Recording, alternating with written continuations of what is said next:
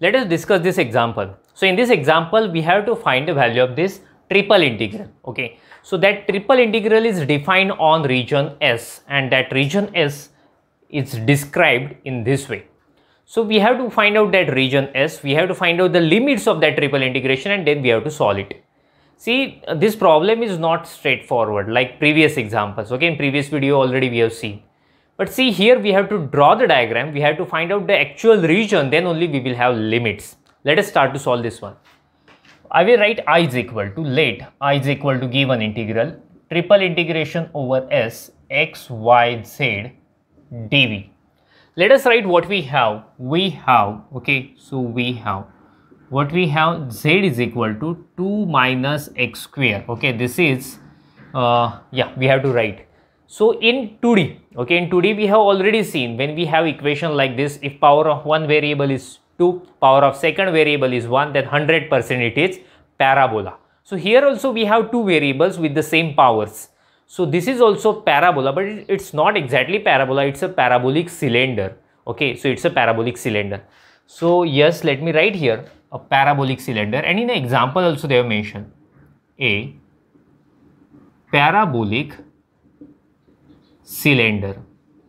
That means in xz plane you will find a parabola. Simply we have to extend it. Okay. So let me write here uh, z here. Okay. So uh, let me write in a standard form that is x square is equal to 2 minus z. x square is equal to 2 minus z. That means in xz plane as I told you earlier it's a parabola.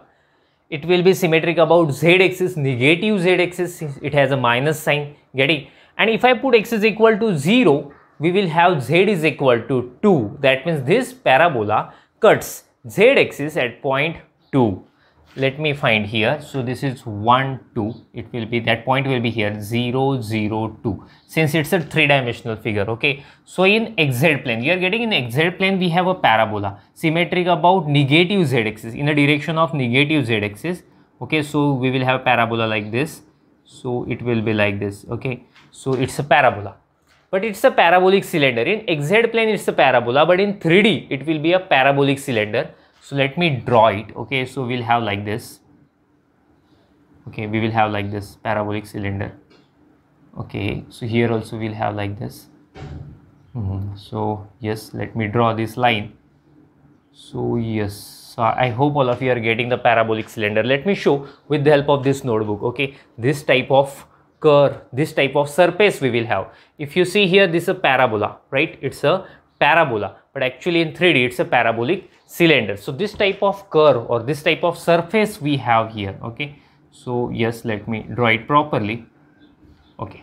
So this surface we have. So let us continue now uh, this thing we have. After that what we have? Z is equal to 0 z is equal to 0 means xy plane right? Z is equal to 0 means xy plane. Y is equal to 0 that means xz plane. Okay so the region is bounded by xy plane. That means this plane. Xz plane. Okay xz. That means this plane also.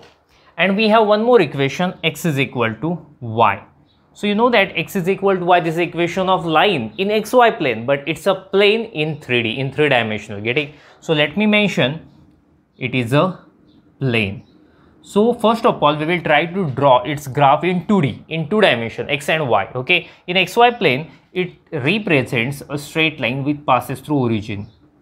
So you know that how to find, okay, to any line.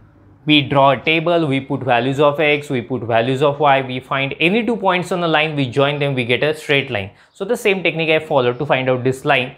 So this is a line, this is a line in xy plane, but in three dimensional, it will be a plane. So let me draw this line here. Okay, so let me draw this line here. So we will have line this x is equal to y, but actually in 3D we will have a plane like this.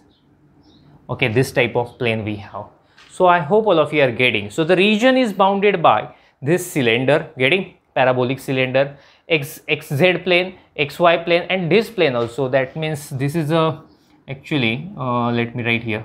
So this is uh, yes region of integration okay this one and the whatever in along z axis we have the region here okay so in this way we have got a region now we have to find the limits let us find limits now so here we have to write limits of z first. So as I given here z varies from 0 to lower limit 0 and upper limit I mentioned z is equal to 2 minus x square. After that we have to write the limits and after that we have to write the limits of x also. So yes this type of diagram this is a base of that region getting? So yes in xy plane what will I do? I will draw a strip parallel to y axis okay? Since I want the limits of y so strip is bounded below by x axis whose equation is y is equal to 0 so 0 getting and bounded above by this line x is equal to y. That means y is equal to x. Or uh, from this one also you can easily find limits of y are from 0 to x okay? After that we have to find the limits of x. So for that we need to know this point okay? That means this point we want. So what will i do? Uh, you know its equation. What is its equation z is equal to x 2 minus x square. I will put x is, z is equal to 0 so we'll have x square is equal to 2 that means x is equal to plus minus root 2 so that's why limits of x will be 0 to root 2 okay since we have considered a positive side. So that's why uh, x varies from 0 to root 2 so in this way we have got a limits. So with the help of these limits we are going to solve the integration. Make a screenshot of it then we will go further. So i have mentioned limits there. So let us solve this triple integration okay so these first we will integrate with respect to z then we will integrate with respect to y and after that we will integrate with respect to x let us integrate with respect to z first, integration 0 to root 2, 0 to x. So when you integrate with respect to z, x and y are constant. So let me write it outside. Integration of z is z square by 2 with limit 0 to 2 minus x square dy dx. So you know uh, when we get any constant we take it outside. So here 1 by 2 is a constant. Let me take it outside. 1 by 2 integration 0 to root 2 0 to x xy. I am putting the upper limit 2 minus x square bracket square. If I put 0, we will have 0 dy dx. Okay. So now we will integrate with respect to y. So x and this bracket is also constant. We can take it outside. Let me do that. Okay. So this is equal to 1 by 2 integration 0 to root 2 and x and 2 minus x square bracket square I am taking outside the integration since we are integrating with respect to y. Integration of y is y square by 2. So it is y square by 2 with limits 0 to x dx. So again we have 1 by 2. So let us take that 1 by 2 outside. So we will have 1 by 4 integration 0 to root x. If I put x here, we will have x square and this x square into this x, we will have x cube here, right? So we have x cube if I put 0, we will have 0. Let me expand this bracket. 4 minus 4x square plus x raised to 4 dx. Okay.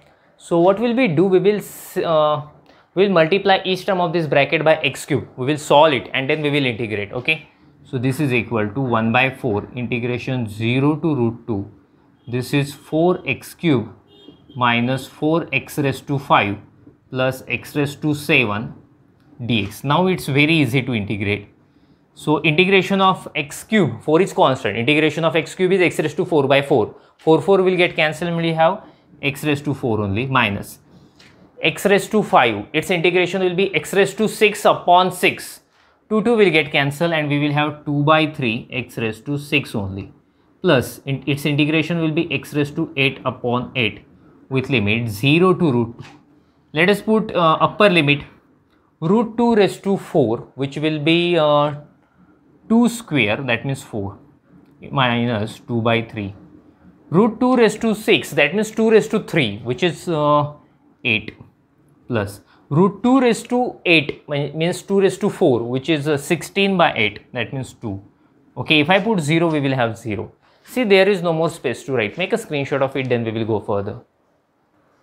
So let us simplify it further. So which is equal to, let me write i is equal to 1 by 4, 4 plus 2, 6 minus 16 by 3. If you multiply each entry by 1 by 4, we'll have 3 by 2 minus 4 by 3. We can cross multiply 9 minus 8 by 6. So 1 by 6. So this is the required answer. Okay, let me remove this one. It is not required now.